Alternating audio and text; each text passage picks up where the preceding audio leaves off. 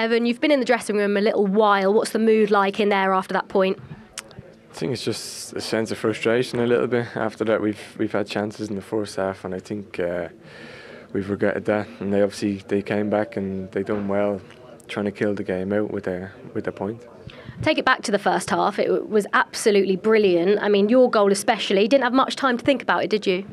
No, I think it's one of them. Like you know, when Pascal gets on the ball, just try to make a movement, then he'll find you. You know what I mean? So it was just sort of uh, sort of instinct.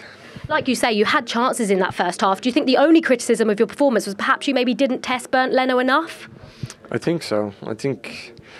I mean, we done well. We had a few like half chances in the first half, but I think we just need need to do better and try to take one or two of the half chances.